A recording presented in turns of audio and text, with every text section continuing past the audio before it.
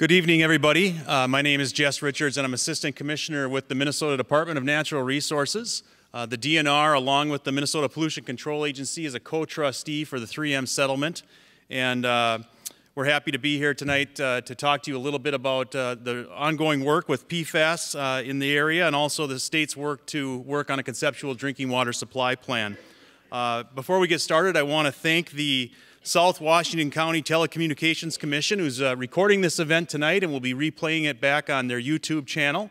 Uh, so folks can see that. Those folks that decided to stay home and watch the Vikings today. Uh, I was told that I should probably give a Vikings score update. I am not able to get it to go on my phone, so I'm sorry. I know Kurt, I know it's, it's you're right, it hasn't started yet. Thank you very much. I think we might have a couple Packer fans in the group too, so I don't know. Um, the, I also uh, want to thank Woodbury High School for hosting us. This is a great venue. You seem like you're far away from me right now. I might walk out in the crowd. Um, and also, just before we get started, uh, uh, I just want to thank, I noticed there's uh, a number of elected officials here today, both state uh, and local elected officials. Maybe you could raise your hand so folks know where you are. Uh, a bunch of city council members, mayors, senators. so thank you all for coming and, and showing your support and engagement on this important topic as well. And then I also noticed that we've got uh, a number of uh, members of our citizen and community and technical work groups here. These are the folks that are uh, helping us on a monthly basis, you know, helping us go through the data and the information, giving us advice on, on how to work on this subject. If you could raise your hands as well so folks know who you are, or your canes, Jack, that's great. Thank you very much. I hope you had the opportunity to spend a little time at the open house and, and talk to some of our technical experts. They'll be, available, of course, all night and after the event as well if you want to talk to folks uh, after this is done, um, if you have additional further questions. We have four main topics that we're going to talk about tonight. Uh, first, we're going to hear from Jim Kelly, uh, manager with the Health Department and he's going to give you some background on PFAS chemicals, their health effects, and uh, the health department's water guidance. And then we're going to move into a presentation on PFAS sampling in the East Metro area by Ginny Yingling with the health department as well, a research scientist. And then finally, Kirk Koudelka, Assistant Commissioner with the Pollution Control Agency, will give you an overview of some of the history uh, leading up to the 3M settlement agreement and the work that's being done right now on the conceptual drinking water supply plan uh, just, you know, the work that's being done to meet the long-term needs for safe drinking water in the community. After these presentations, we'll have uh, additional time for question and answer, and all the folks, uh, including myself, will stay up here. Um, so we'd like you to hold your questions until the end, if possible, because we want to be able to get them all in the, the video. Uh, there's going to be a microphone that's going around, so please wait. If you have a question, put your hand up. Somebody with a microphone will come and uh, take your question, and then we'll have somebody provide that answer. Um, and we'll, we'll be able to go back and forth on slides. Ginny's got some pretty incredible uh, slides that are uh, similar to some of the pictures you saw outside. And so if we need to go back, we'll, we'll come back to those slides as well. Restrooms out the door, men to the right out the door, women's to the left out the door. And with that, I will turn it over to Jim Kelly from the Health Department.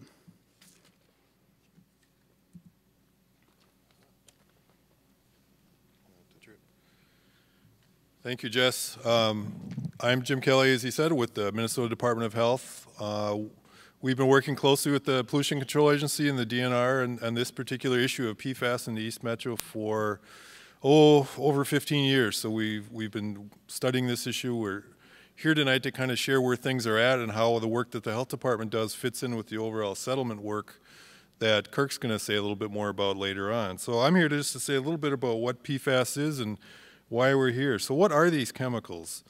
It's a large class of industrial chemicals. They're surfactants, which means they help other things move easily.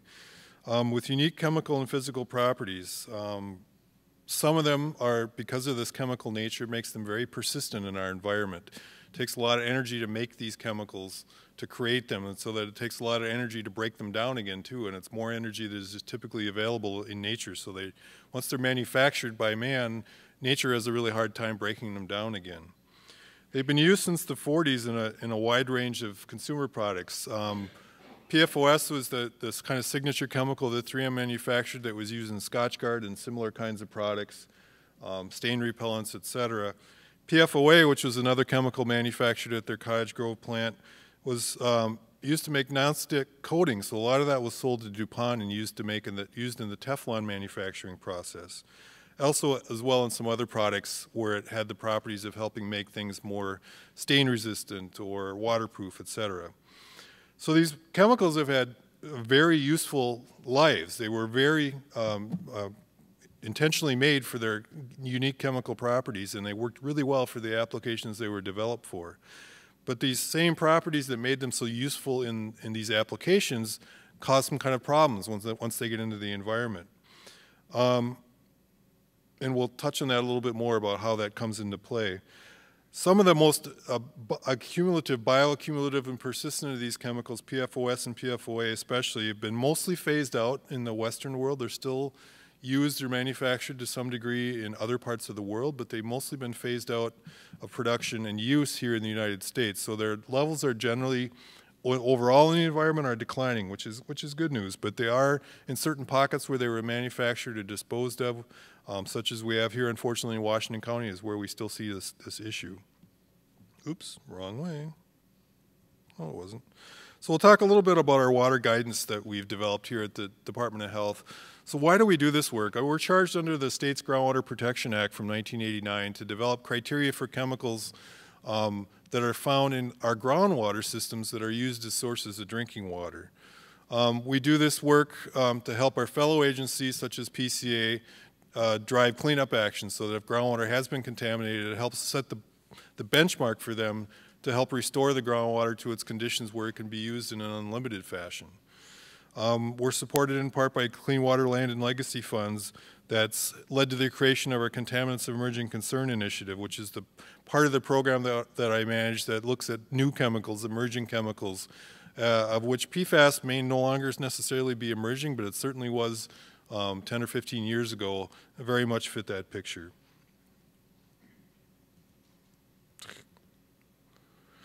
So as I mentioned, PFOA, PFA, HXS and PFOS, three of the chemicals in this family that we found here in the East Metro area. The, the kind of key issue with them that makes them such a concern is that they are eliminated very, very slowly from the human body. That is, very low levels in water can build up or accumulate in your blood um, to where you have levels that might be, um, if they're part per, part per trillion levels in the water, you can end up with part per billion levels in the blood or part per billion levels in the water, you could end up with part per million levels in blood. So they accumulate very, um, very easily in the body. It takes your body a long time to accumulate them, just the way, same way it takes your body a long time to eliminate them. And I think that's an important factor to keep in mind. So it's kind of a long-term exposure that we're concerned with. So having a glass of water that might have something in low levels of, of these chemicals in them is not necessarily a concern. It's that consumption on a daily basis over many, many years that starts to drive up those serum, serum levels to levels where we might be concerned. so the guidance values we've developed for these chemicals, um, the, the most toxic or accumulative ones, PFOS, PFOA, um, and PFHXS, were developed um, based on this idea that the guidance values are based on the idea of trying to protect against um, excessive transfer of these chemicals from the mother to a developing fetus. We found out fairly early on that they can cross the placenta so that the developing fetus can also build up levels of these chemicals before they're even born. They're also excreted into breast milk, so that is also another pathway that, a, that an infant can be exposed right after birth. And because uh, very young infants typically drink a lot of water per their body weight, more than adults, that can build up even faster um, in very small infants. so we really had to try to take that into account somehow in developing guidance values for, for the most problematic of this family of chemicals. The goal of it is to keep those accumulated levels in the mom's to be uh, in her blood low enough so that exposure to that of her developing fetus and then her infant are below levels of concern. So that exposing our, our exposure to our very uh, most vulnerable population, that developing fetus and the infant, is really what this is based on. For everybody else, um, our guidance values are probably overprotective. In fact, we've calculated that they're likely to be overprotective. If, if you're a guy, it's not, you could probably get by with a lot higher levels because we're not carrying fetuses and passing that on through breast milk. That's just the, the fact. But we have to protect that most vulnerable of populations. I want to stress that um, even though breastfeeding is one of the ways that can, that can lead to exposure to these chemicals, we really wanted to stress to, uh, to the communities out here that breastfeeding is really important for both the short and long-term health of an infant and for the mom both. And we want that practice to continue. I think the benefits far outweigh any small risks that would come from doing those practices or any small levels of contamination that would be passed on. So we want to stress that the benefits in this case likely outweigh the risks, but ultimately we want to protect um, those moms to be so that they don't have levels that would ever be of a concern. One of the questions we get is that if you're, if you're looking at the science around these chemicals, uh, many states have developed guidance values along with the EPA, and, and oftentimes they're all a little bit different. Um, part of that is because this is a really fast-moving area of research. There's constantly new studies coming out. It's been a very active area. Sometimes we see up to 100 papers coming out in a month in the scientific literature. That's a lot. Um, so it's uh, keeping up with that and figuring out what's going on in the newest studies is, is, uh, is critical in this area. Sometimes there's differences due to timing. Uh, methods tend to change over time. And some, oftentimes the difference is that each state approaches this a little bit differently and might use different factors in the equations that we use to develop water guidance. This slide, it, again, is kind of busy, but it talks about some of the different factors that can differ between states. There are things like um, the, the, the, how we look at the studies that we use, the animal studies that we use to derive these guidance values. So things like the, the NOEL, which is the term we use for the no observed effect level, how you might look at that and calculate that could be different from state to state. Um, uncertainty factors or safety factors, sometimes we apply them in slightly different ways where one state might use 30, another state might use 10, so you're going to get a slight difference in the value there.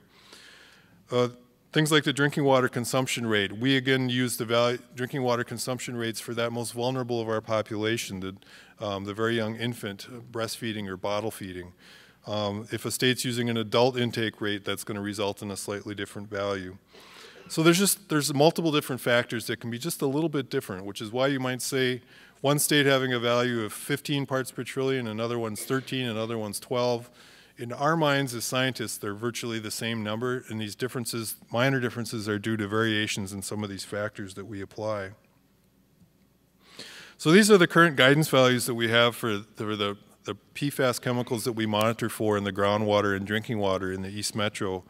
Um, they vary in range from 7 parts per billion for PFBA, that's the, a short chain chemical that has a very short half-life in the body. Your body clears that chemical in a matter of days versus PFOS or perfluorooctane sulfonate, the one right above it, that number is 15 parts per trillion because it takes your body many, many years to clear that chemical out. That's by and large the largest driving factors in these numbers. Um, so they, they have a very big range, and, and that's why they look, the numbers are slightly different based on their, their, their properties. We also look at the combination of the chemicals together because they have similar potential effects on the body. They can affect the development of, the, of, a, of a fetus, obviously, as I mentioned. They can affect the immune system. They can affect the liver and other systems. They all um, have similar effects. So we look at them if they're present in mixtures in the groundwater, which they often are in the East Metro.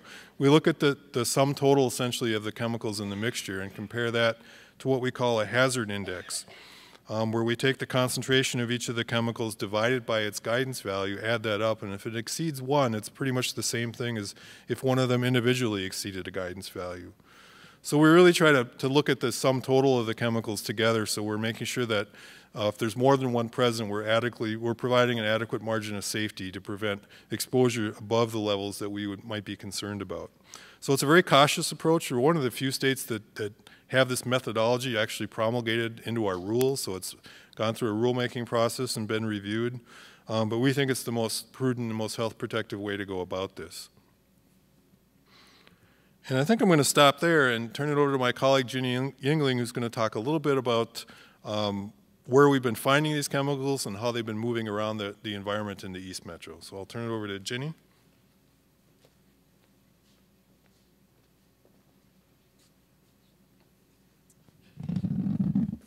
Thanks, Jim. Jim said I'll talk a little bit, so that was a clue to me to keep it short because he knows how I can ramble. Um, so we have been doing a lot of sampling in the East Metro. So we started back in 2003.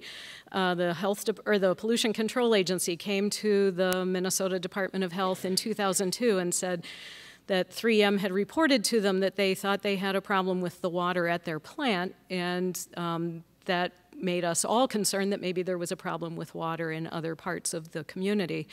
And so our lab quickly set to work to develop an anal- uh, to develop analytical methods to test for these compounds. So starting in 2003, we could test for two of them, PFOA and PFOS. Um, the detection limits were relatively high, and so we didn't find much when we got going at first. Um, over the time that we've been doing this work, the detection limits have been uh, incrementally lowered um, several times, and that's allowed us to find more and more of the um, contaminants at very low levels down into the part per trillion range these days. So in that time frame, since 2003, we've collected over 13,000 uh, groundwater samples from a, a, variety of wells. Um, approximately 3,500 wells in the East Metro um, have been sampled. 76 of those are community wells, like your city water supply wells, and then larger um, uh, supply wells for places like Eagles Watch Development and the Cimarron Mobile Home Park. 3,200 plus residential and non community public wells, and those are things like schools, businesses, churches that are on a well uh, anywhere that the public might be drinking the water, um, but not on a, a long term or, or regular basis. So we've sampled quite a number of wells. For drinking water samples, we've got over 10,000 samples. Of those, 1,300 were collected from the community water supplies, and about 8,900 or almost 9,000 from those residential and non-community public water uh, systems. And that's because some of the wells we've, we've sampled more than just once. The city water wells are sampled on a regular basis. The more contaminated of the private wells get sampled regularly, and then we do what we call sentry wells throughout the affected areas to keep an eye on things in the aquifers to see if it's changing over time. Right now, we've been sampling about 1,000 wells a year since 2016, ever since the EPA's uh, new lower lifetime health advisories were issued in May of 2016. We've um, upped our sampling um, and as we've lowered our drinking water advice since 2016, we've continued to do a lot more sampling to try and identify all the wells that may be in exceedance of our, our guidance values. Um, in that regard, we have well advisories and response actions going on in um, most of the affected communities. Oakdale, Woodbury, Cottage Grove, Lake Elmo, and St. Paul Park all have one or more city wells that have received um, advisories from the health department because of exceedances of our guidance values. And in each case, they've taken some action to address that. Um, the cities that have more wells are able to shut off some of the wells or use them on a very limited basis and um, rely on flow control using the cleaner wells and then only using the more contaminated ones when they absolutely have to, but keeping the, the overall concentration below our guidance values. Other cities like Oakdale, Cottage Grove, St. Paul Park, are in the process of have either installed uh, carbon filtration systems or in the process of doing so. And um, both Oakdale and Cottage Grove and Lake Elmo have also either installed new wells or are in the process of doing so um, in, and installing those in areas that are not contaminated. Um, in terms of the residential and non-community public wells, we've issued over 1,250 drinking water advisories for those systems. The state, uh, through the Pollution Control Agency and their um, uh, emergency response system, as well as under a consent agreement with 3M, um, that funds this work. They provide bottled water as an interim uh, uh, measure, and then install either a whole house carbon filtration system, a granular activated carbon system, or they can, where it's possible, they connect people to city water. So that's occurred in Lake Elmo and uh, Lakeland and Lakeland Shores. This map gives you sort of a, a cartoon version of what's going on, kind of the big picture. Um, as Jim mentioned, this has been going on for a long time. There were three major disposal sites in the East Metro, and it's a little hard to see, but the little flags um, show where they're located. So there was, I don't know, do I get an arrow? Does that show up? Nope. Do we have a laser pointer? I've got a pen, but that doesn't help. All right, well, be as it may. There were uh, two major disposal sites north of Woodbury, one in Oakdale. Uh, the, um, it was a, a large uh, dump that was in a wetland area um, just to the west of the Menards off of 694, so you probably are familiar with that. The other was the Washington County landfill up in Lake Elmo, just south of Lake Jane. Um, PFAS bearing wastes from 3M were disposed of in those um, landfills, as well as the Woodbury disposal site right on the border of Cottage Grove and Woodbury, um, along Woodbury, Woodbury Drive or Keats Avenue. Um, and then there's also been some, uh, there was some waste disposed of on site at the Cottage Grove plant itself, but that from there it just goes straight out to the river, um, the, the stuff that infiltrated there. All three of those sites, the contaminants, quickly went to the groundwater because none of those were lined landfills back then. We didn't line our landfills, unfortunately, and so um, very rapidly these plumes probably established because these uh, chemicals are water soluble and very mobile in the environment. So it's likely that these plumes established very quickly, starting in the late 40s, early 50s, and through the 60s and into the early 70s, at which time all of the sites were investigated because of industrial solvents that were being detected in people's water supply wells. And so site investigations and cleanups occurred at all three sites that started to reduce the amount of contaminants that were in the source areas and as well as putting in control systems, groundwater extraction systems to try and contain the contaminants on site, pull them out, treat them, and, and discharge them. The problem was we didn't know the PFAS chemicals were in there, and a lot of the treatment um, options did not address those chemicals. And so basically, we pulled them out of the ground and sent them on their way. Um, the so, so the other thing to note here is that we've got two major drainage features in this area. There's the Mississippi River on the west and south of the county, and then the St. Croix River on the east side all the groundwater in Washington County is going to discharge to one of those surface features. And there's a divide that runs essentially north south that cuts the county in half that determines which way the groundwater flows. On the east half, groundwater flows east southeast towards the St. Croix, so I put a big blue arrow directed that way. And on the west side, there's the water flows south southwest towards the Mississippi River. So, again, an arrow. And you can see the areas that are shown in green, which is PFOA, and black hash marking, which is PFOS. You can see that they're kind of following those trends depending on which side of the divide they're on. The brown area is PFBA, the one that Jim mentioned that's so water soluble. It's a small molecule. It doesn't like to stick to things like some of the other chemicals do. So once it's in the water, it takes off and it goes a long way. We also think there was probably airborne deposition of PFBA from the plant and also from other sources because no matter where we sample in Minnesota, we will find some PFBA in groundwater at some trace level. 10, 20, 50 parts per trillion, no matter where we sample. So it's a very common contaminant, unfortunately, in the environment.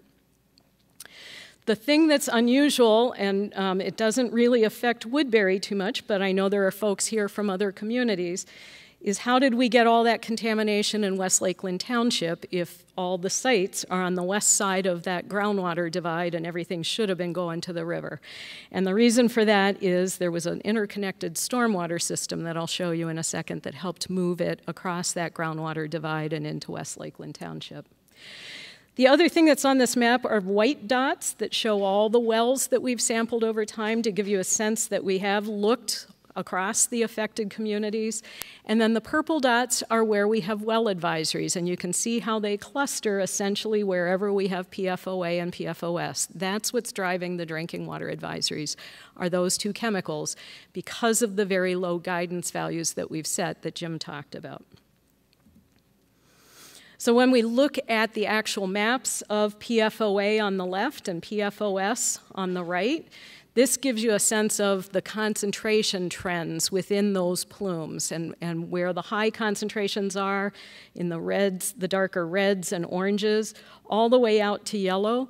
Anything from yellow, orange, or red, those um, exceed that chemical's individual guidance value. So you can see the, the large areas up in Oakdale, Lake Elmo, West Lakeland Township, and then parts of Cottage Grove, where we've got um, concentrations of PFOA that exceed, and then only up in um, Oakdale, Lake Elmo, West Lakeland Township, and a little bit of Woodbury um, and then a very small part of Cottage Grove, way down near the plant, do we have PFOS that exceeds our guidance values out in the residential wells.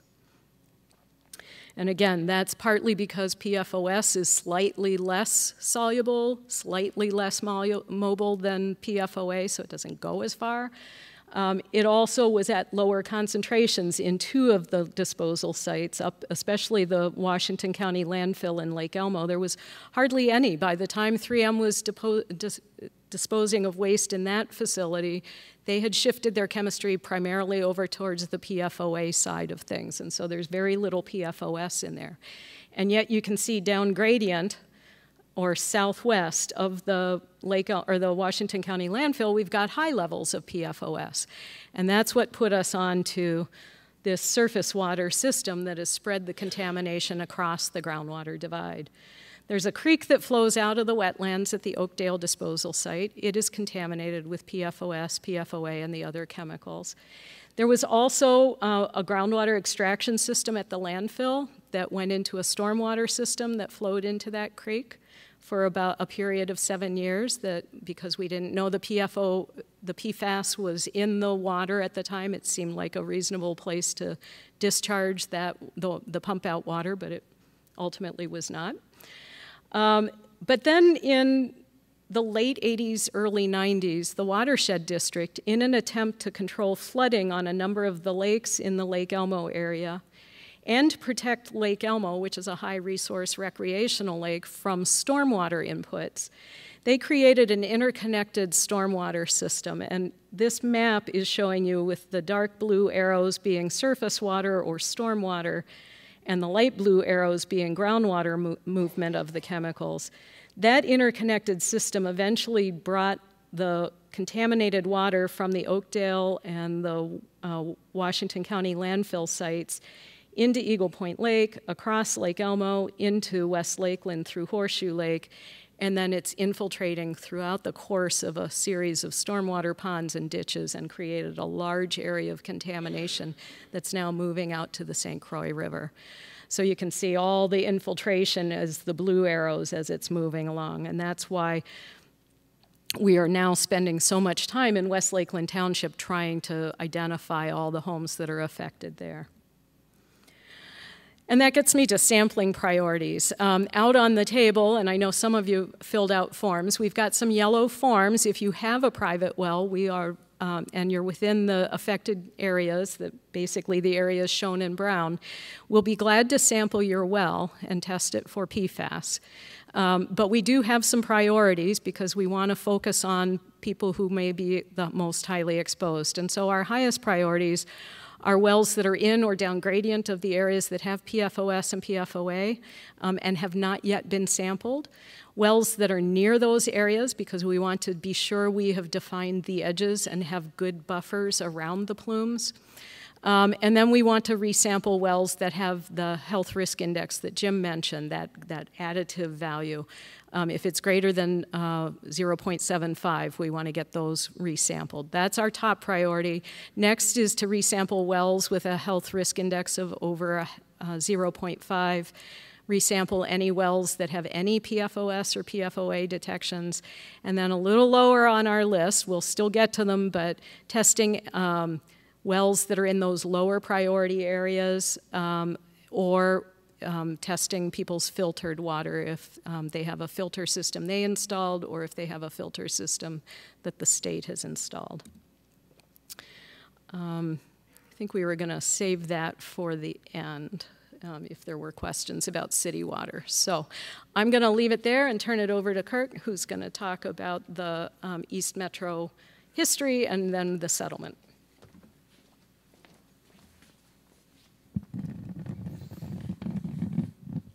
Thanks, Jeannie. Thanks, Jeannie.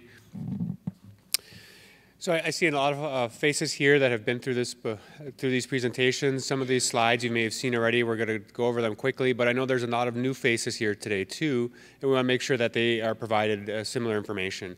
So while we may hit some highlights on these, if those folks have questions during the Q&A, please ask them, or afterwards, we're more than happy always to provide additional information.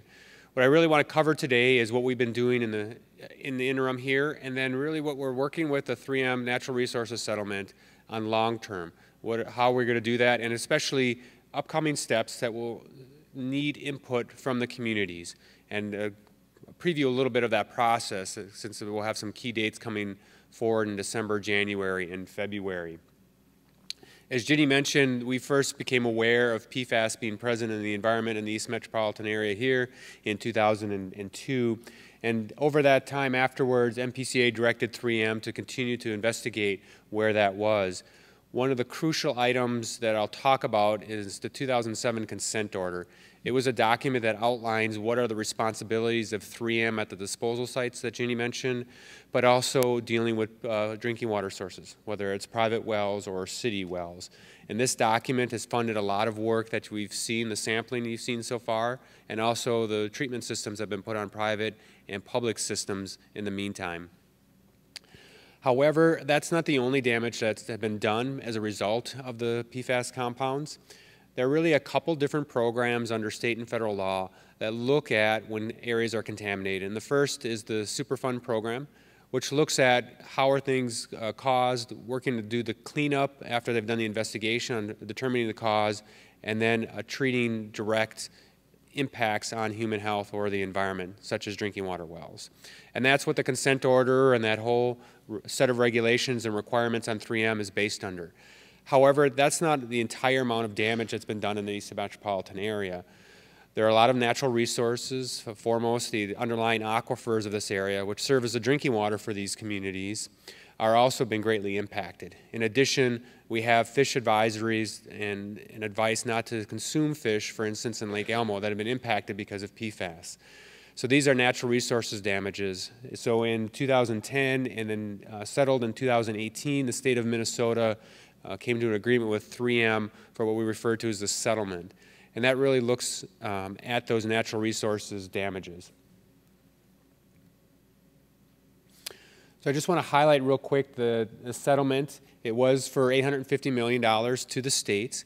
Uh, a number of funds were used to, to start with, which brings uh, for a number of costs, including legal costs, expert witnesses, the investigations that were needed, and the research done to, to prove the case.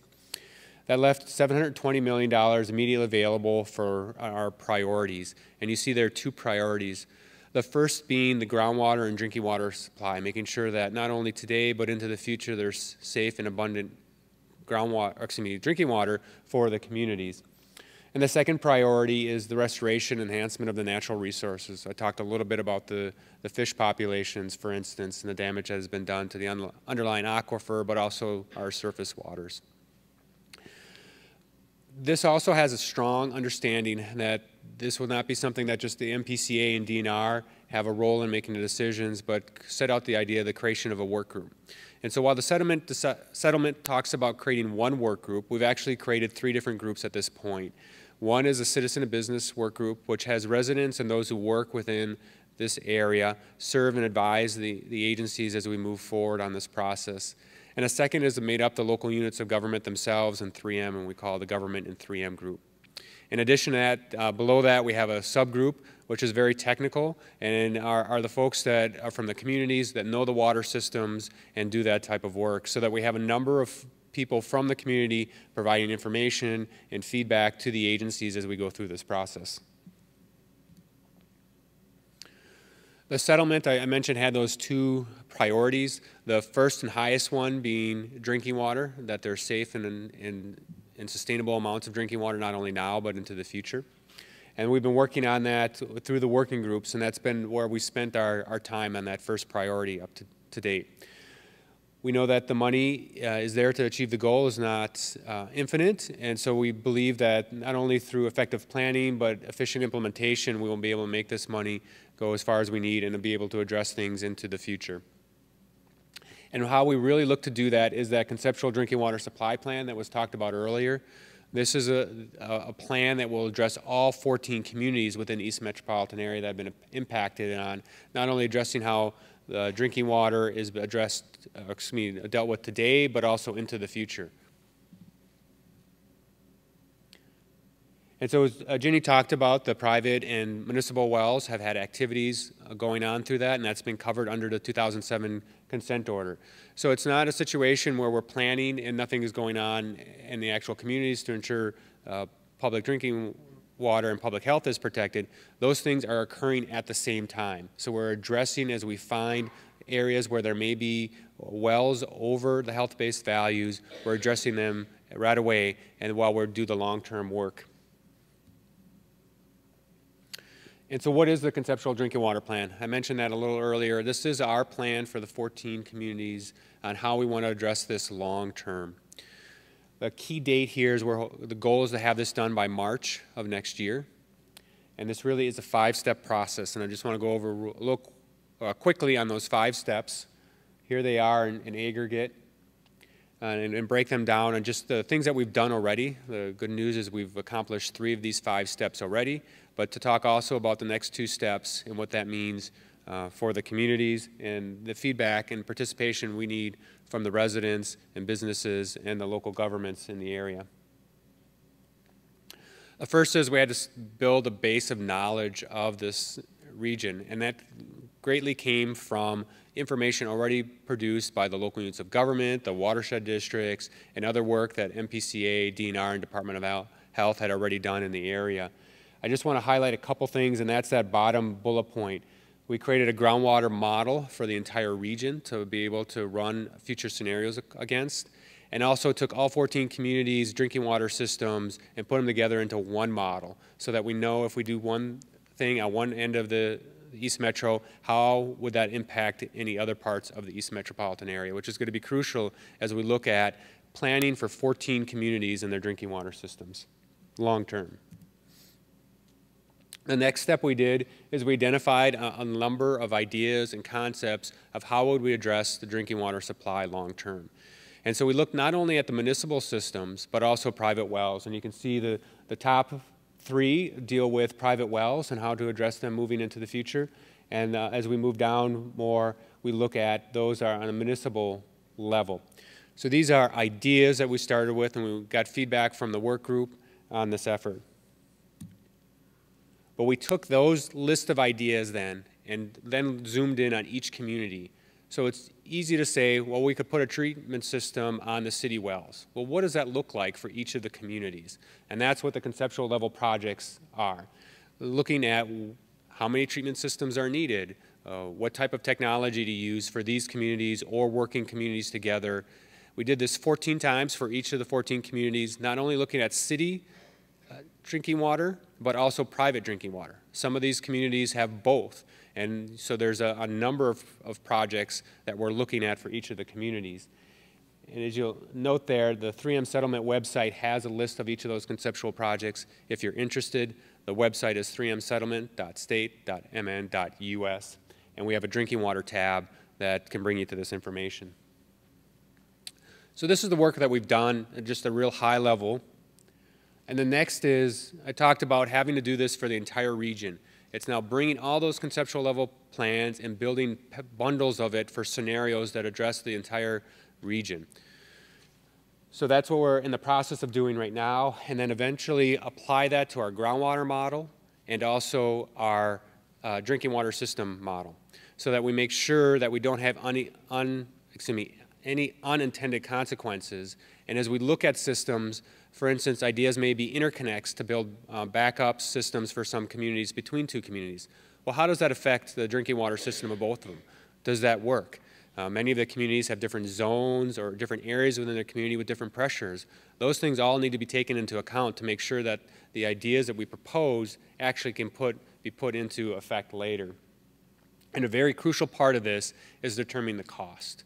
And that's not only the cost of building these systems, but it's also the ongoing operation and maintenance of these systems into the future. And then eventually these systems may need to be changed out or upgraded and to make sure to see if we can have dollars available to do that into the future too. Does there need to be a pot of money? If so, how much set aside in the future to address those issues? So those are technical data that we'll have and we'll have uh, produced in December to be able to share with folks. But there are a number of other questions that need to be answered to really differentiate between those different scenarios. And this is a task that we're working with both working groups right now, where we're creating criteria to apply to those uh, different scenarios to see which ones are of, of higher value and, and interest. And the goal is then to have a good, better, and best scenario as a result, because there may be multiple ways to address the same problem. Some of those criteria look at very specific questions. So for instance, what is a cost-effective method? What is sustainable for the long-term amount of, of, drinking water that's need, needed in the communities? How do we address future potential changes, whether it's changes in the standards as we learn more uh, of research and if things need to be reacted to differently, or if we find changes in where we find the contaminant? How do we ad uh, address that into the future? And so that will help differentiate which of the scenarios uh, make better sense. That's why our, a good, better, and best as we move forward. In addition, we'll be having conversations with the local units of government and every resident, uh, the residents in, the, in every one of those communities too. And that's why I want to hit on a few key dates. As I mentioned earlier, the more technical information is going to be available in December of this year, and we'll share that on our website but also be able to push that out through our list servers and other types of media. And then looking for public comment in January and February. We'll be hosting additional community meetings to be able to get feedback so that we'll have some scenarios, cost estimates, and some of those criteria we talked about to get your feedback as we go back and, and start looking at what are the good, better, and best scenarios. These are, are things that we're going to need to have feedback for because some of them change the way potentially the systems work. Uh, for instance, on private wells, in some areas, the option that we may be looking at is hooking up to city water. That's a, a change, or bringing water in from another community to serve private wells. That's something we're going to want feedback from not only the residents of the communities, but also the local units of government themselves, too. And then, so uh, with that feedback, apply those criteria that we're working with the, the working groups on in, in March and have a, that good, better, best options. And then afterwards, start with the communities and having those projects being implemented. Knowing that there will need to be time for design to be done and then uh, construction, and that money would, or those activities would be covered by the 3M settlement money. Again, uh, we just want to stress that our goals and number one priority with this work so far is the safe drinking water. We have systems in place to address the near term, the, the, the situation that uh, is happening today on the ground, but the settlement is looking for that long term. We want to do this in a very organized way so when we look and don't rush into something and then 20 years from now say, you know, why did they make that decision? You know, if they spent a, a, different time, maybe this other option would have became available or um, more research would have opened up other ideas. And so that's why we're using a very deliberative process. But we also understand it's a balance between um, doing this additional work for a study and, and actual implementation and activities. It has to be a balance. We like to call it constructive impatience um, to, as we move forward on this. And then finally, again, our 3M settlement website not only has information on there, all the work group presentations are up there. Uh, this video will also be posted there, but there are fact sheets. And if you'd like to get information, we do have an email list that you could sign up for, which we send out information, including future public meetings or, uh, or notices when things are posted to the website that may be of interest to you.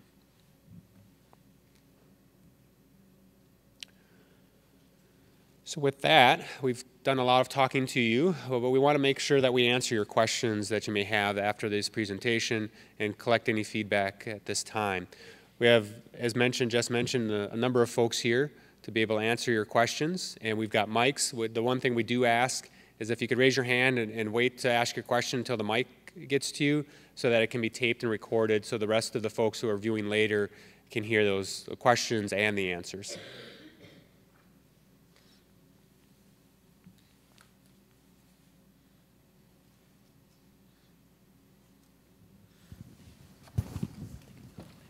So, what effect does that have on potential cancer?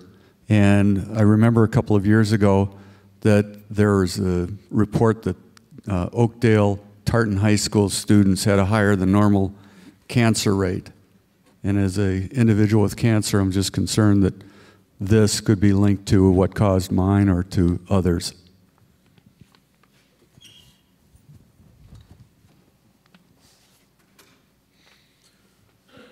First of all, I'm sorry to hear of your, your own situation. Um, you know, cancer is, is, is, too common in our society. Um, with these chemicals, they're not strongly associated with cancer in, in animals and even sort of less so in humans. One of the large studies of people showed some potential connection or association between exposure to one of these chemicals, PFOA, and, and testicular and I think uh, kidney cancer is the other one. Um, but it's not really been proven, or that signal has not really been well observed in people or necessarily across different test animal species. We have looked multiple times at cancer incidence in the East Metro, and we don't see anything unusual, um, including with those particular kinds of cancers. Um, that isn't, it's not a perfect system. We're not able to, we capture all the cancers that are diagnosed, but if someone lives here and moved away, we're not able to necessarily tie that back. I am aware of, yes, the concerns that were raised about Tartan High School a number of years ago. There was, there is something unusual about that. However, we have, we have no, no real evidence and no real association between the types of cancers that were observed at Tartan High School, which were a variety of cancers, and this particular situation. It, it you know, there's, there's not a connection that we can at least can see, um, but it's something we're going to continue to monitor over the coming years. So again, I, I, think we can we can safely say that the rates that we do see aren't aren't necessarily unusual um, for this particular area, but it's something that we'll continue to follow.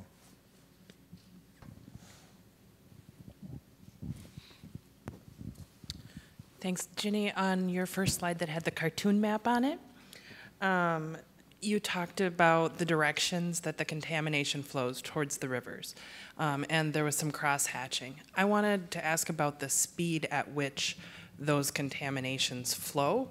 Uh, they're headed toward my house.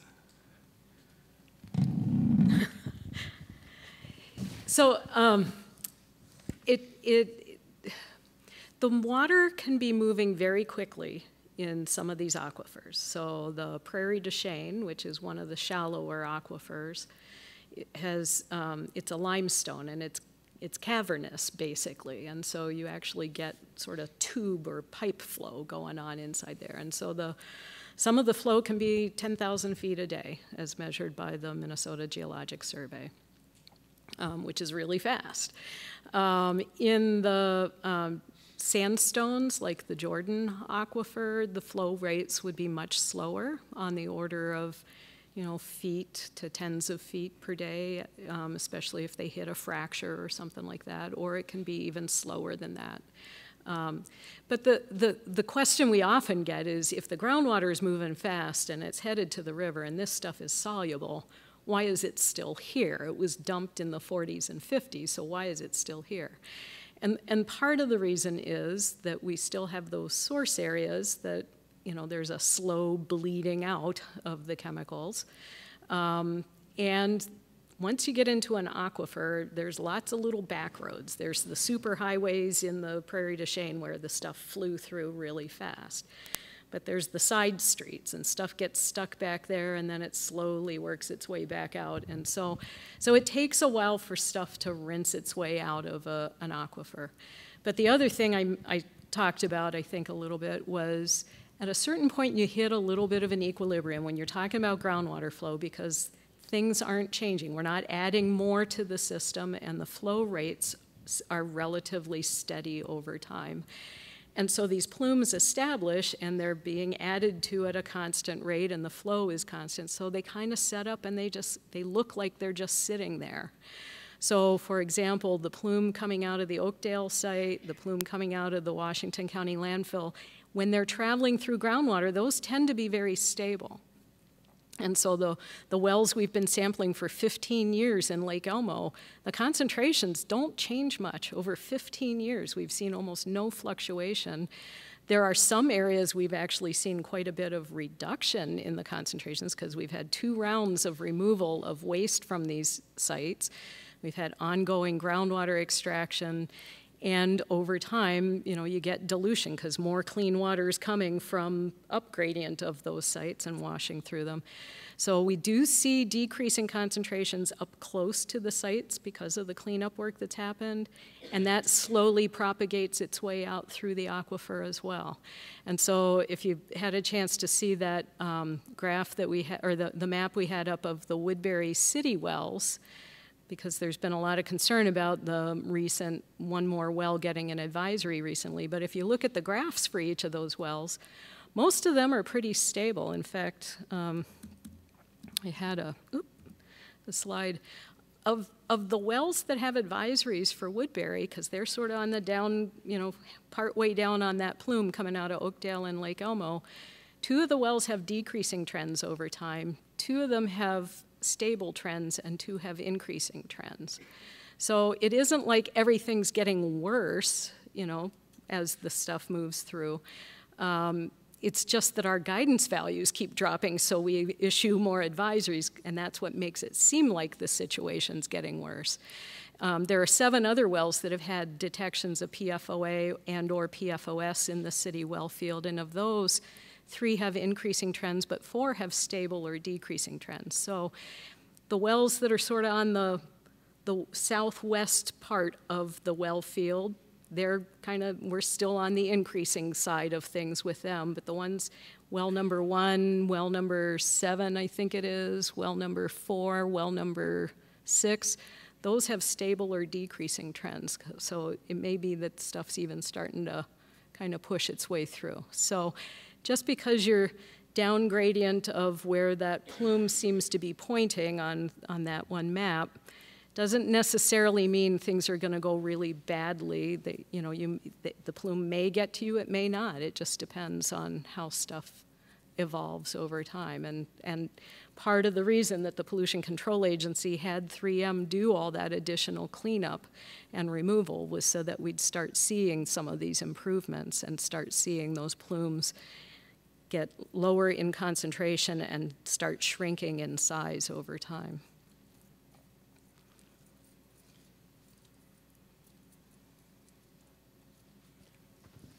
So you're blending water in the city wells. How are you not damaging those non-contaminated wells by overworking them just to try and make the water be better with, like in Cottage Grove, you have eight contaminated wells, so you have four that are non-contaminated, aren't they working a lot harder just to blend us enough water so it's below that health advisory? Um, so I am not an engineer. Um, we do have a couple folks from our drinking water protection program, but but the wells are designed. I mean, they've got more capacity than they are typically pumped at, so it's not going to damage them to pump them more. Um, that, that's really not going to harm them. The thing that we would be concerned about is if you pump a clean well and you got contamination over here in a, another well, the concern would be do you then start pulling that contamination towards that cleaner well over time? And so that's one of the concerns um, long term if you shift around your pumping because of a contamination site. But it's not going to damage the wells to pump them as long as it's within their the, the, the design capacity for that well.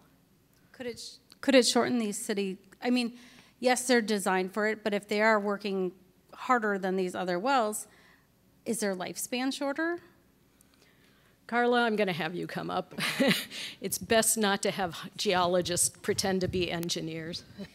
and I, while Carla's getting up, there's one thing I just want to highlight. That's part of the reason, too, that we're looking at long term what's being done in the interim is an interim solution, and then why we want a long-term solution to address some of these other items too. And I'm going to turn over to Carla.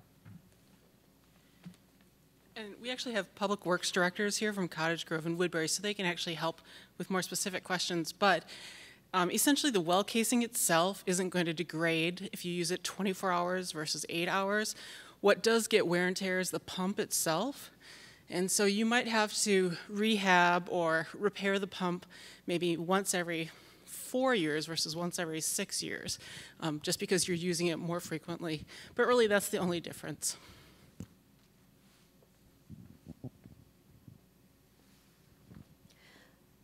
Um, my question is, um, as far as like the settlement money, so if the plume does move, but all the money has been spent, um, what happens, or are you leaving a contingent fund to help Bayport or, you know, south of Cottage Grove? A good question. So I- mentioned a couple documents that really are important here. One is the 2007 consent order, and one is the, the settlement that we have. So part of what we're looking to do with the settlement is looking and trying to get ahead of certain things, uh, long-term, but also uh, have dollars potentially set aside to address that. Now, if every dollar spent out of the settlement, the consent order is still there behind it. And so the consent order has not gone away. So that controlling document would still be there. So prior to the settlement, when wells, private wells exceeded, for instance, the health-based values, it was the consent order that took on those activities. And so there's that system there. Now our goal is with the conceptual drinking water plan is to be able to address those items up front or set aside money for it. But we also then do have as a backup the consent order as needed. So it's a very good question.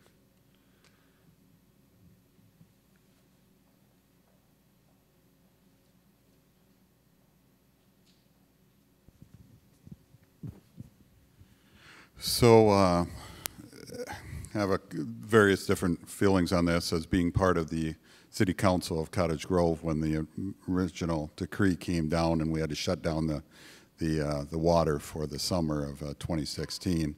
And for my part of it, things don't seem to be moving fast enough because it just seems like I've been to three of these now, and the only numbers that change are the number of wells that get contaminated it doesn't seem like it's ever moving forward. Because here we're working on it, we're working on it, we're working on it. At least now it looks like we have a date of March 2020 that we'll have a plan, if I understand correctly.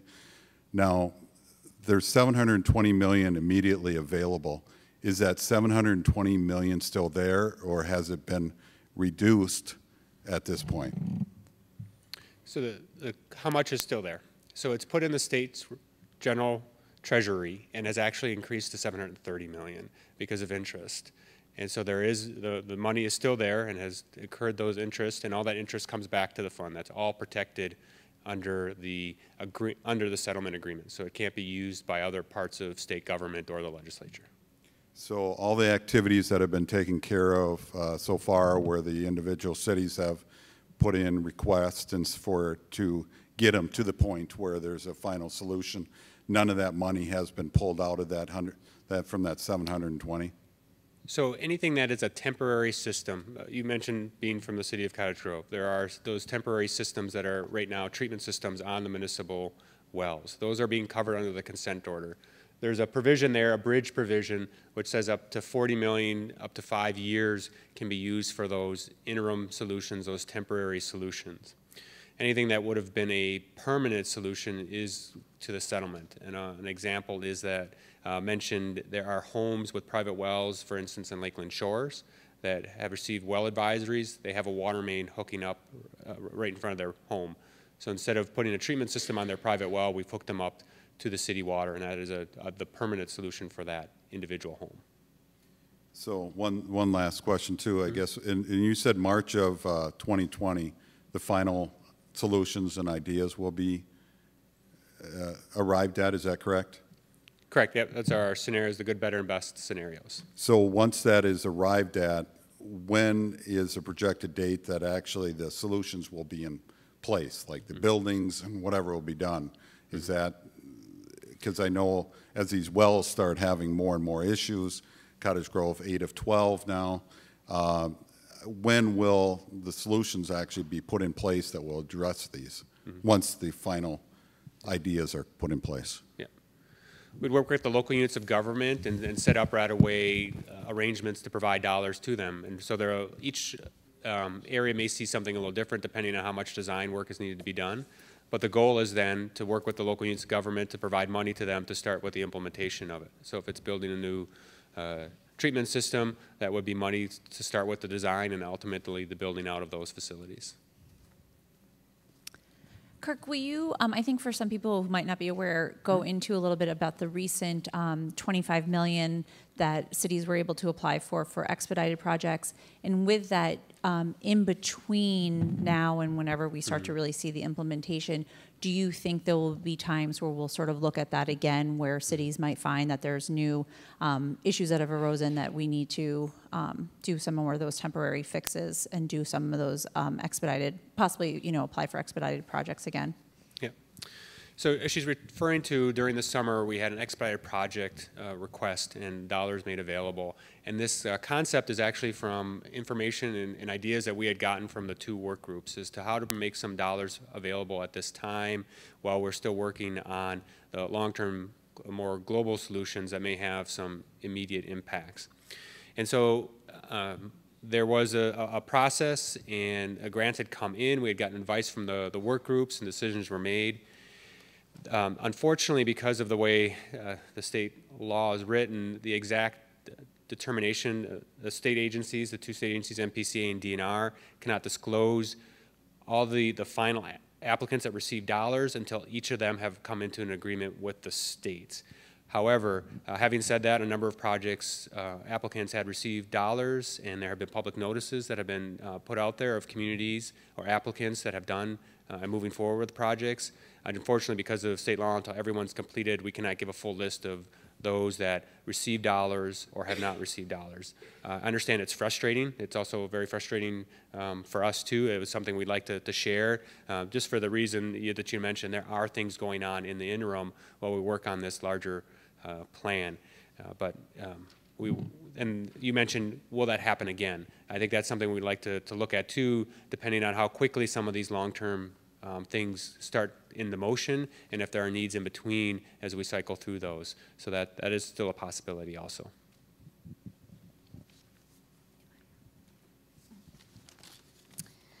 Oh, I have a couple questions, and I don't know um, which one's going to be able to answer them. Um, according to that timeline, I think it was 2002 that 3M informed you that they maybe had some water problems at their plant. I was just kind of wondering what uh, what kind of water problems were they having that they would have been alerted to that. And I don't know if you want me to do all questions or just go one at a time. Let's go one by one. Okay, this is a, a quick yeah. answer. So what they told us in their production wells that they were drawing water for their facility, they had detected PFAS in it. And so that's where we were then notified of this and working with Department of Health and MPCA started working on expanding that investigation. As Ginny had mentioned, if it's there, is it other places? And that's what started off all the work that was done after that. So, so they just were testing their own water for contaminants and they found it. Okay, got it. Okay. Um, and then I am one of those lifelong residents. I've been here 50 years and um, five kids, all um,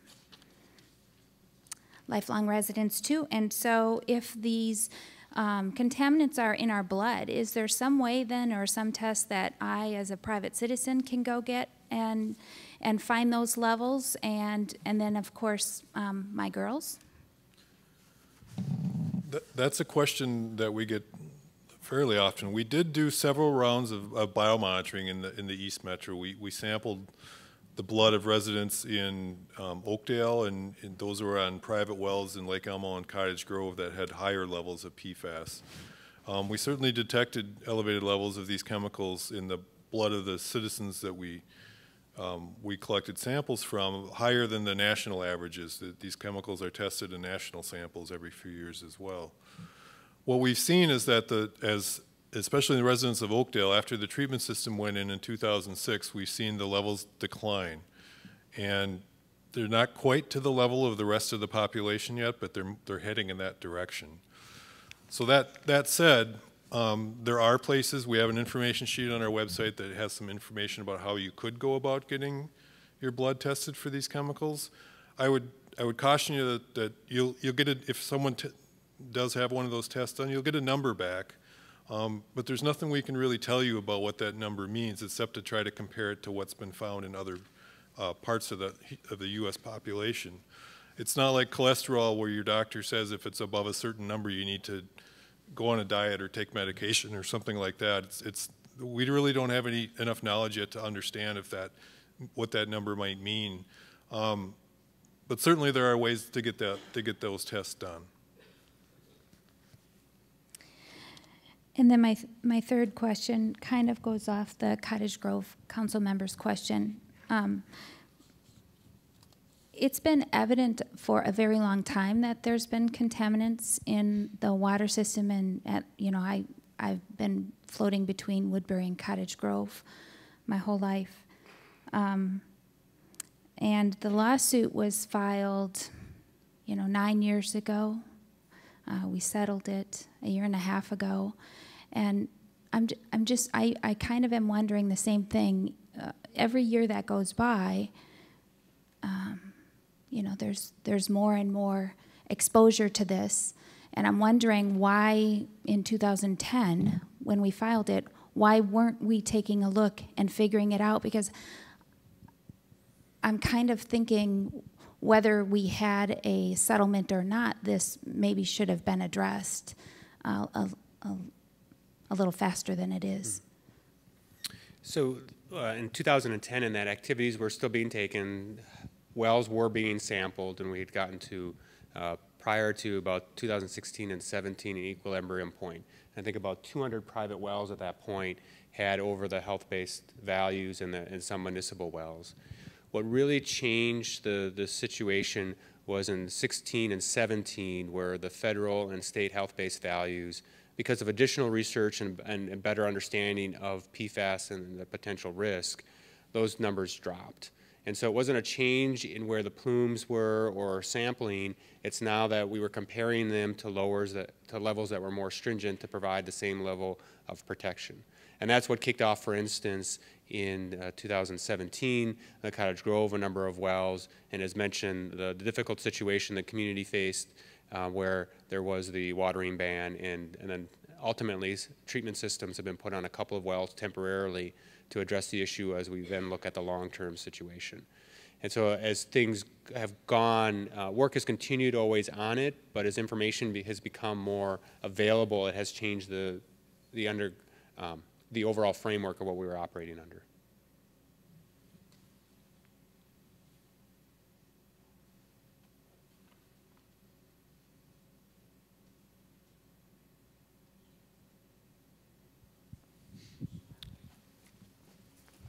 Another question.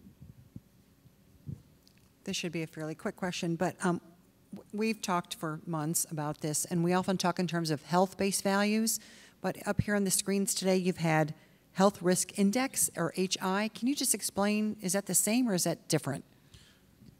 They're essentially the same thing. The, we, when we do that additive approach, um, we take the individual health risk limits or health-based values. Um, they become the denominator in that. Oh, it's up there somewhere.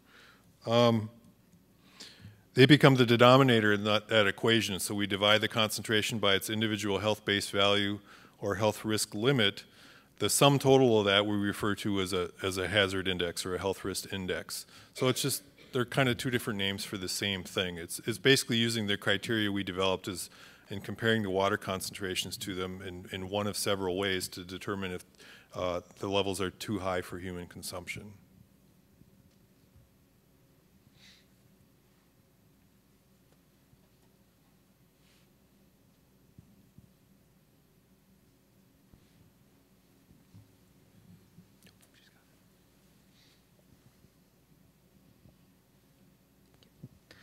Jim, early on, you talked about the risk to infants, uh, fetuses, um, and I wondered what the definition was of infants, or really, I'm worried about, um, you know, at what level.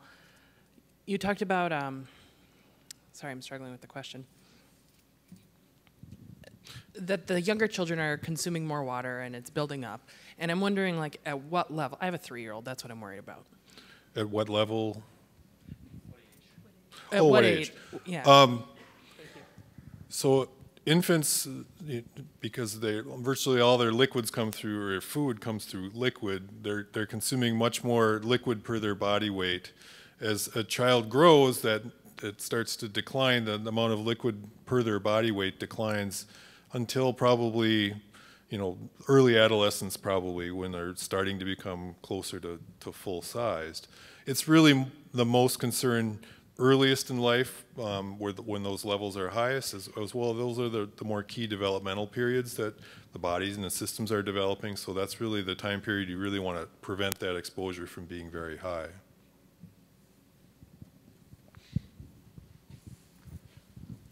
When you say it that way, then isn't any PFAS in the water too high? If they know it's getting into, you know, infants and children and could impact their development? So in, in that case too, then would you lower the health advisory limits? The, the values that we, we developed are based on the best science that we have, and and that science has changed over the years. You're you're right. We've those numbers have declined. They've gotten lower as we've learned more about these chemicals. Right now, the, the number we have for PFAS is 15 parts per trillion, which is really not far above our ability to even detect it in the first place. So we're, we're just about at the level where if you detect it, it's probably time to do something about it. Um, whether that's going to continue or not, I, I don't have a crystal ball. I can't say for sure. But the numbers we have now are based on the best science that we have available to us. Um, we, we've, we've really put a lot of effort into understanding this and, and done some really great work and published some scientific papers about how we've gone about this. And other states are starting to pick up on that methodology and looking very closely at what we're doing. So I'm pretty confident we've done the best job that we're able to do at this point. Um, the filtration systems, when they are put in place, they, they treat them down to essentially non-detectable levels, and that's the good news, is that when treatment is used, um, they're not simply trying to meet that exposure level, it pretty much takes it all out. Uh, so I think that helps get us to that point where that's no longer a concern once those treatment systems go in, until we get to the point where the environments, the, the aquifers are cleaned up enough where we don't have to deal with this any longer. With that, so then when you are thinking about the conceptual um, water system plan, or I can't remember the correct terminology, um, is the goal then to set up a plan that will address water regardless of whether or not it's exceeded whatever the value is today? Um, and then again, potentially looking forward to possibly lower standards and so forth?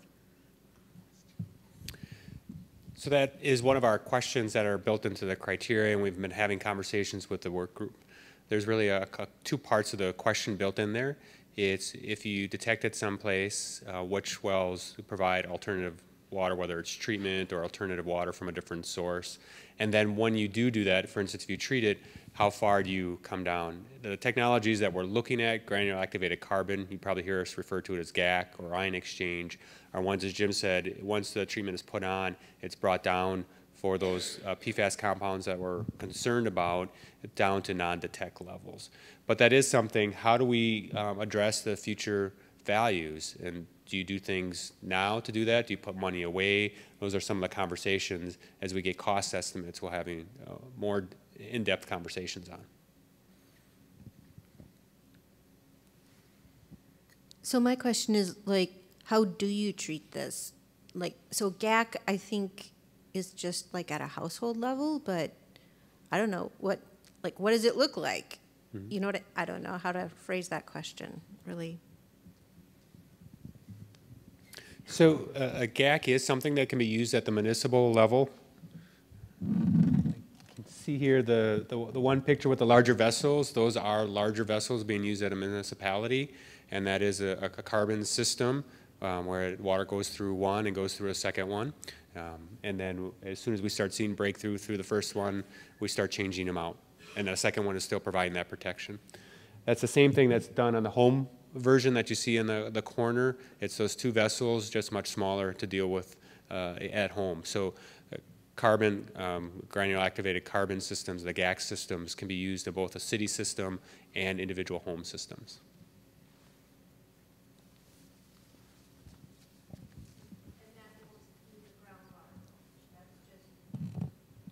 So the question, will, will that address the, the groundwater? And it doesn't. It only is what's coming up through the well and treated before it goes to someone who, who may be drinking it. Uh, Unfortunately, the ability to treat the the contamination in the groundwater, there's not a technology at this time. It's pump it up and, and treat it. And it's unrealistic to be able to pump up the water and, and send it back down because it may become potentially, as Ginny mentioned, if there are spots, recontaminated. It's unfortunately one of the legacies and why um, prevention on contaminations is so important to our agency's work because we can do some treatment and we can do some cleanup. We can't get everything, unfortunately. So if the carbon filters are an easy uh, and safe, brings it down to safe levels, is it the cost then that's preventing uh, cities from using it to make our water safe? I mean, I'm feeling like there's 700 and, what'd you say, 30 or 40 million dollars, and I understand that there's some long-term, but I just keep thinking how long, for every year that goes by, you're going to come up with new science and new, uh, you know, it's a never-ending thing. So when do we say we have to start treating the water and protecting our long-term citizens that are here?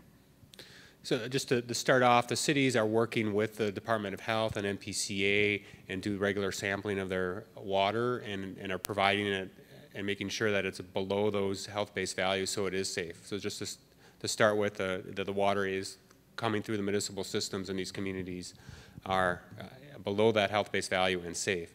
So the question is, why not uh, put treatment on all the wells?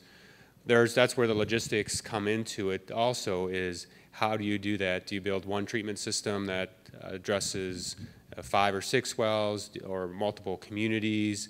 Do you provide water? Um, going back to some of those other options we looked at. Oops sorry wrong way do you um, build new well fields? There are well fields within the East Metropolitan area where you're not having the contamination. Do you look at other alternative water bringing in from other areas? Or if you're on private wells, do you come together in a neighborhood system that builds one treatment system to, to deal with everyone? So there are different ways to do that. And the question is, what is the most cost-effective way to do that and to make sure that something is sustainable long-term? And so that's what we're trying to, to figure out at this point as we move forward. Correct. There, there is the existing water going to the communities are being blended and, and communities have treatment to be able to be under that health-based value and provide safe drinking water. I mean, I understand the blending, and so we take the, you know, the high levels and we blend it with the lesser levels to give us even lesser. But, but it is still concerning to know that there are still things for long-term residents that have been drinking blended water for, you know, high levels and now blended water. And I understand that the water that is coming out of our tap is supposedly on the safe side for what we know today. Uh, next year, we may find something else out. Um, but if we can get that water down to zero,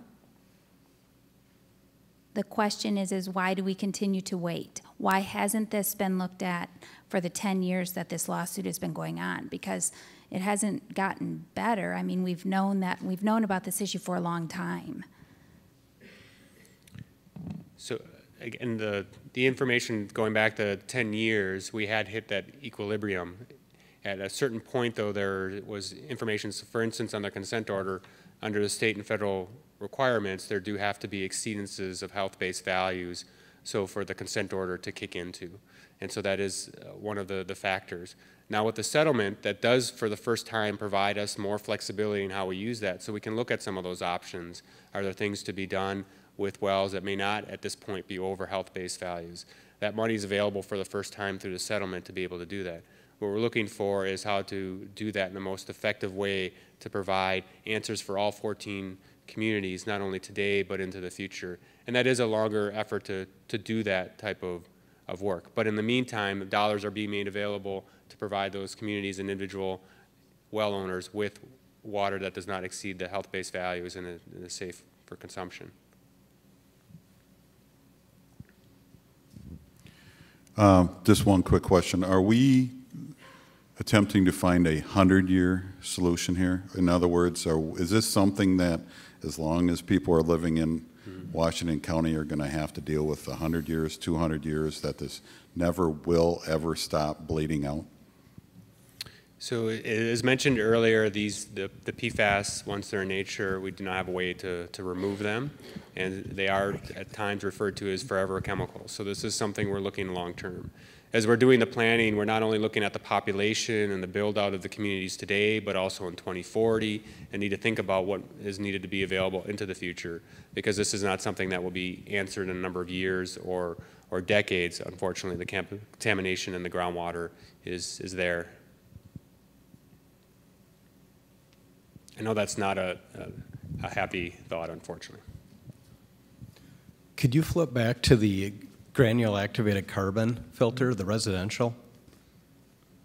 Nope, sorry, wrong way. So the, the photo on the right, um, EcoWater Systems out of Woodbury, if I recall correctly, I did some research a couple years ago. That's thirty-five to forty dollars a month rental. Um, I just wanted to say that out loud. Thank you.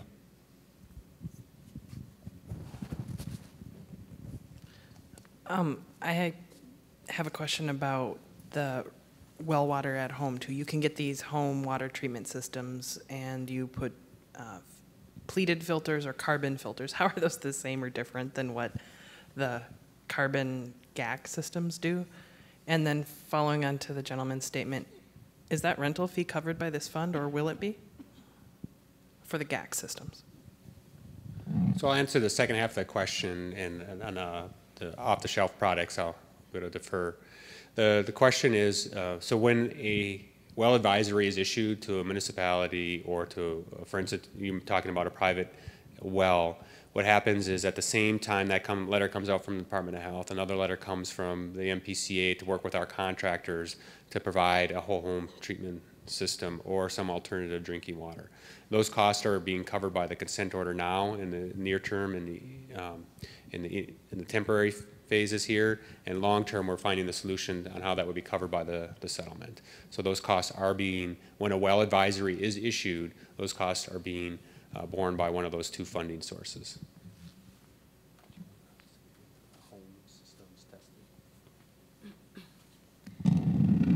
Um, it, it's hard to comment on different types of available home systems.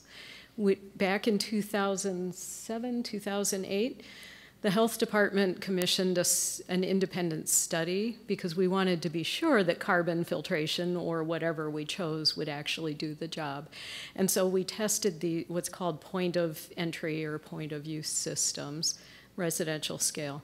We tested ion exchange, uh, reverse osmosis, both with and without carbon polishing filters, and then granular activated carbon.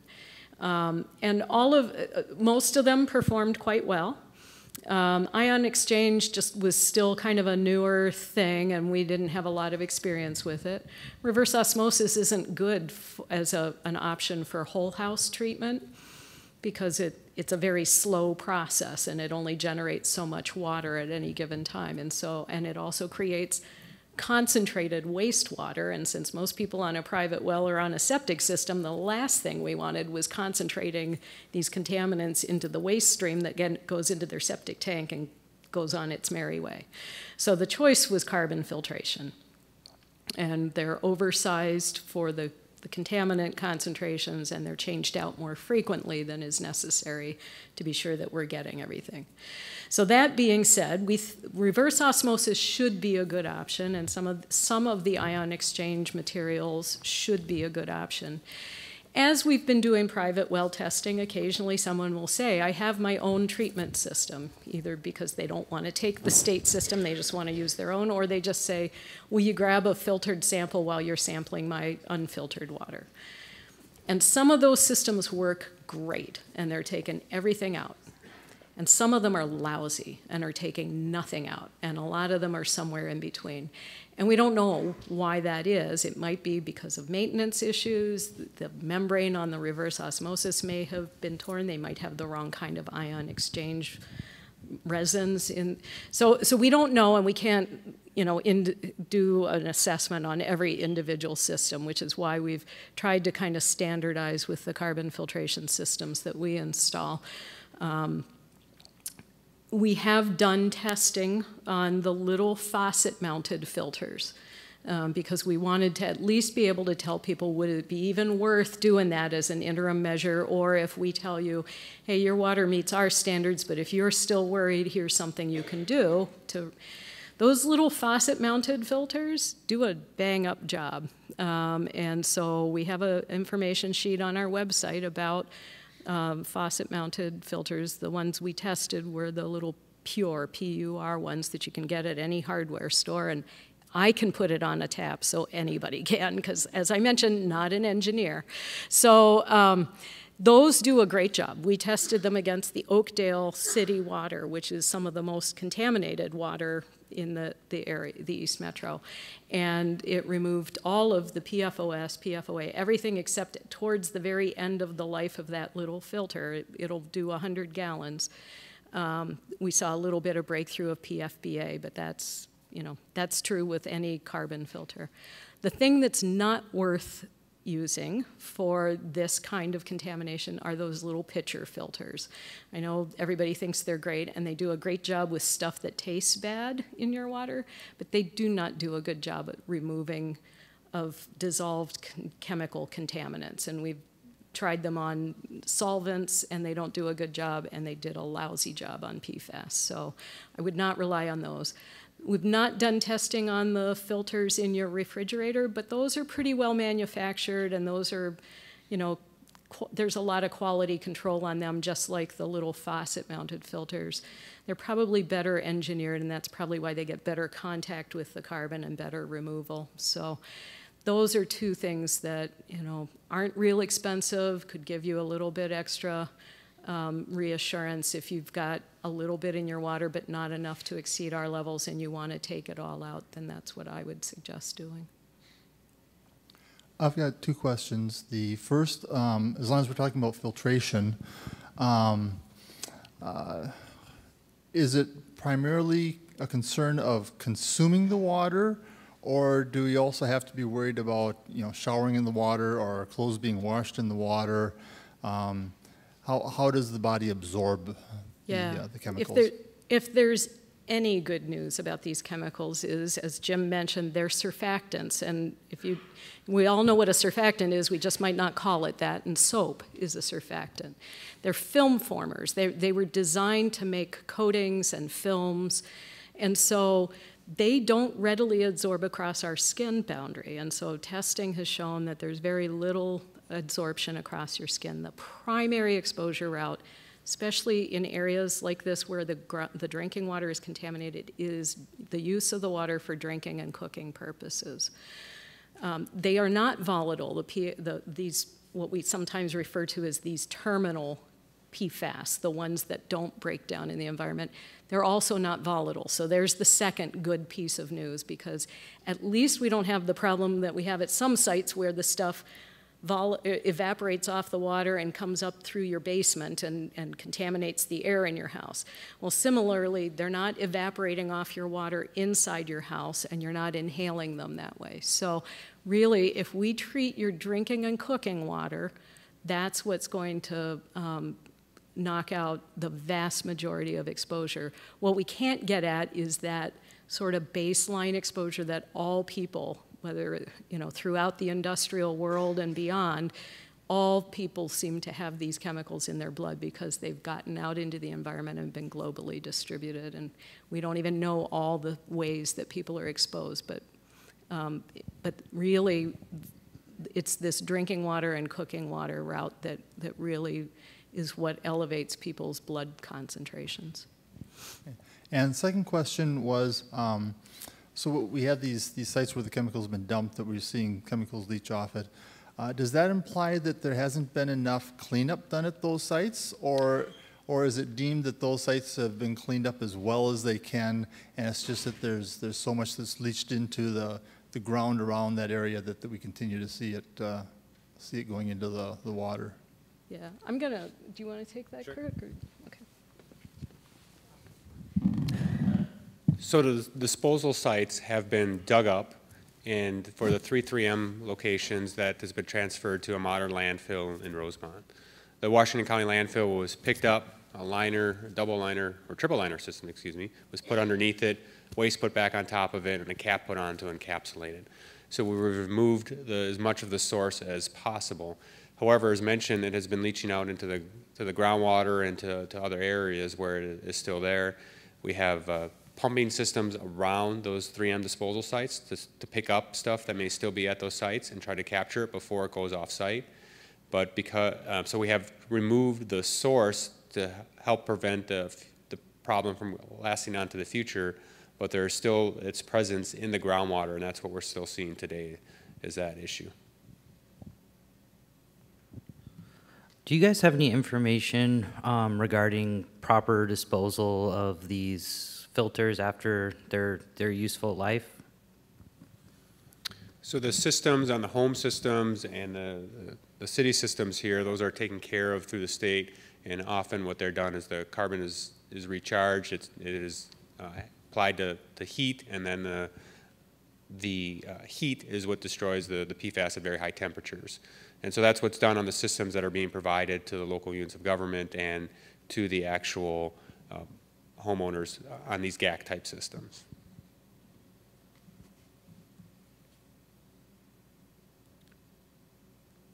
I don't see any more hands. As mentioned before, uh, if you're interested in, in, keeping being kept up to date on this, please sign up for our email list server on our website. We'll have folks outside to be able to answer some more questions if you uh, have them or, or just don't want to ask them in front of a room full of people. And if tomorrow morning you wake up and you have that question, oh, I wish I had asked, our website has an email address and we can make sure we get the question to the correct person either at the Department of Health, MPCA, or DNR to be able to get you a response. So thank you very much uh, for this evening. We, we appreciate your time and uh, have a good night.